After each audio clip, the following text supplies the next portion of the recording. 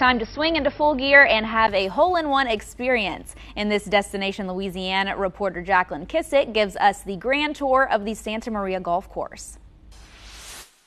Here at the Santa Maria Golf Course in Baton Rouge, it has lots to offer. And in this Destination Louisiana, we're giving you the grand tour on what this golf course has to offer. So come on, let's head on down to the driving range.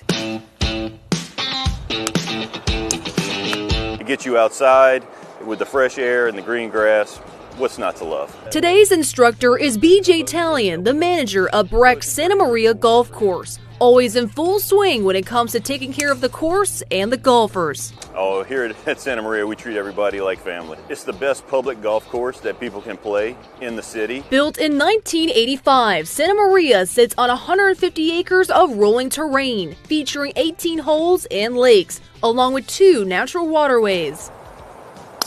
After some practice on the driving range, the tour continues with BJ and I hopping in a golf cart. Another plus on this course is the cost. BJ says Monday through Thursday it's $50 to play. Friday to Sunday is $60. That's a full round of golf, including a golf cart. Most people think that it's a great value for your money spent here at Santa Maria. This destination golf course is one of many golfers' favorites. Why many people come here is for Robert Trent Jones Sr. Signature Golf Holes, one of the most prestigious designers in the game, giving some a challenge and yet everyone enjoyable round of golf. We have a few uh, signature holes here at Santa Maria. Uh, number five is one of the toughest par threes around.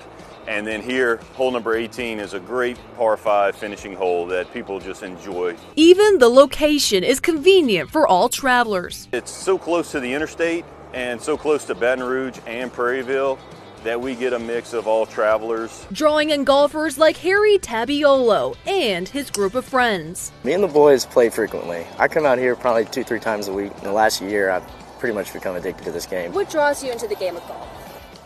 Competition. Smack talking the boys.